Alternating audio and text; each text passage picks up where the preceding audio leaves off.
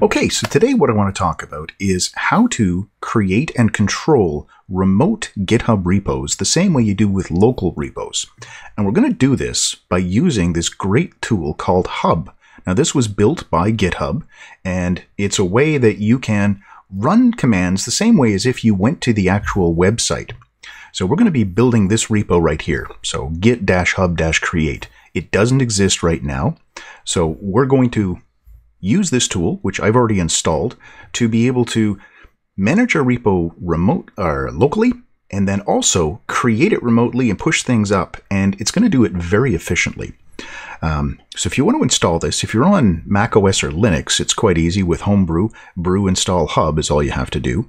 If you're using one of the other tools, we can click on the link here or go to the GitHub repo. It's the same place and there's the section in the README on installation, and it lists off, okay, depending on which thing you've got installed, here's all your options for installing it.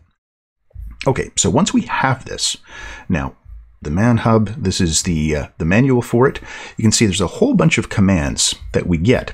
Now, the first bunch, extended git commands, these are things that you can already do with git, although they may have a simplified version where you run one command and give it some options instead of running multiple commands.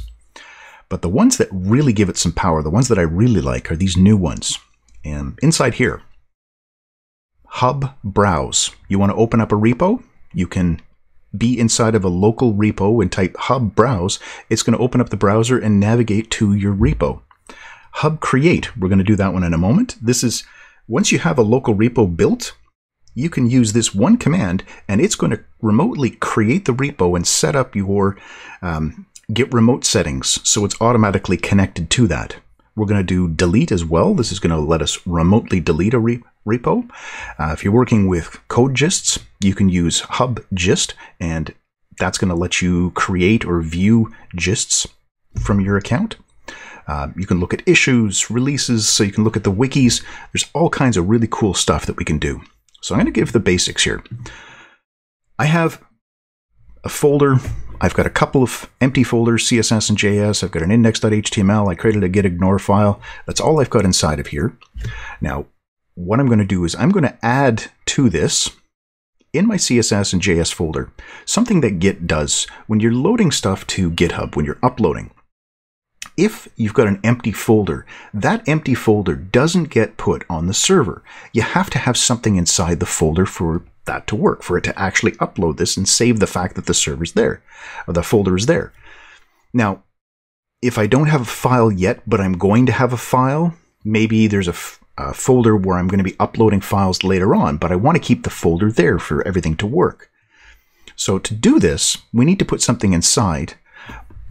But what we're going to do, this isn't something that's built into Git. This is just sort of a convention that people have been following for a while. If you create a file called git keep, nothing inside of it, it's just an empty file. So there it is, git keep. Just create the file, nothing inside of it.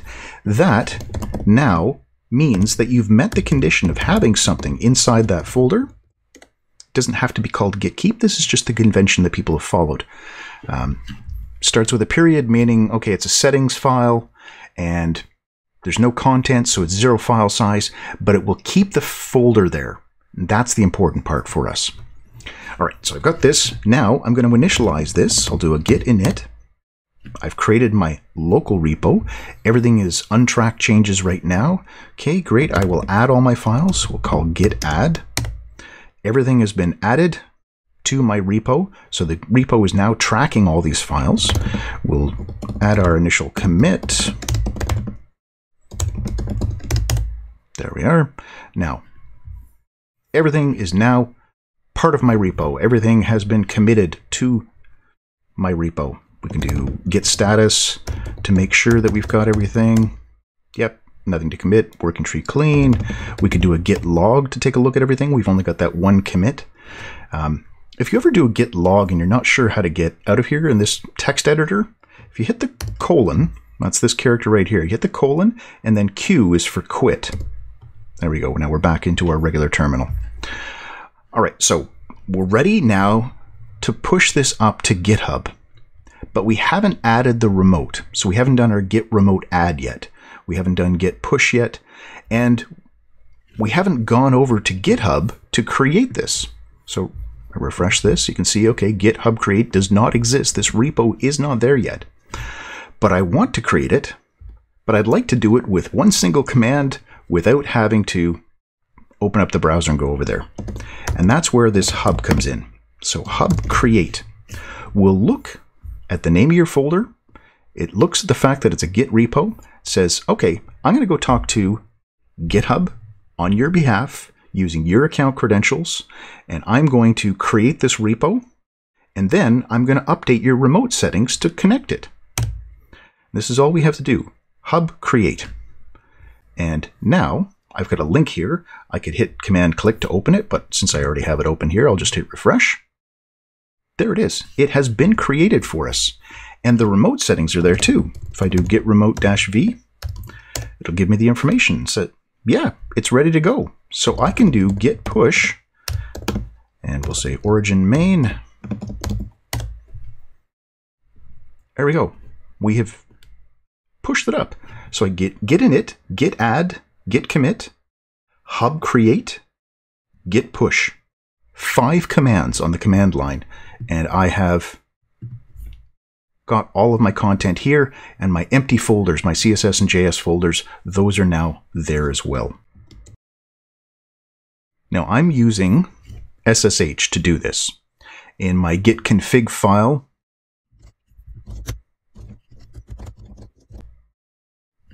Here's my git config file.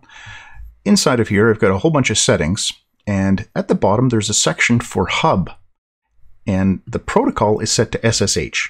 That's what I'm using. Now, there's other choices. You can use HTTPS here instead. And there's a note, I believe, back here on the, yeah, right here.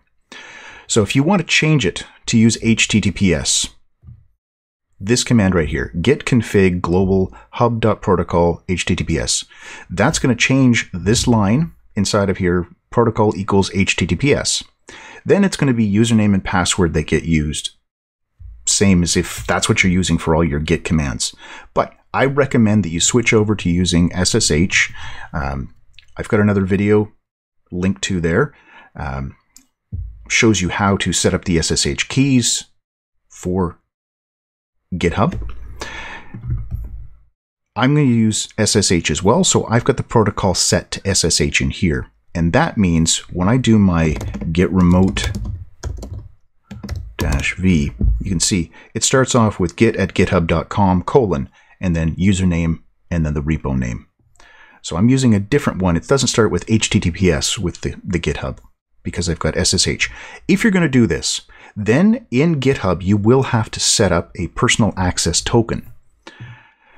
So in GitHub, if you come in here, if you go down into settings and then into developer settings, so settings, developer settings, and then go to personal access tokens, you can create tokens here and create one that Hub can use. And there's some more instructions about that if you need them here too. Okay, so we have this. We've created it. We've used Hub to do that, uh, to create the repo, to push things up. If you want to delete, that'll be the last command that I show you guys here. So I can do hub delete. And for this one, I do need to provide the username and the repo name. So I'm going to delete Professor Steve slash github create. That's the name of my repo really delete it, and you have to type the word yes. There we go. It has now been deleted. I didn't have to go to GitHub and do anything. I can just manage it entirely from here. Same way I can clone repos using Hub. I can do Hub clone, Hub fork. Um, really, a lot of really cool stuff. So there it is. It's gone now. Okay, so I hope that helps you get a little bit uh, faster at creating repos. Using this Hub tool, I highly recommend it. If you have any questions, feel free to leave them in the comments. I'll answer what I have time for. And as always, thanks for watching.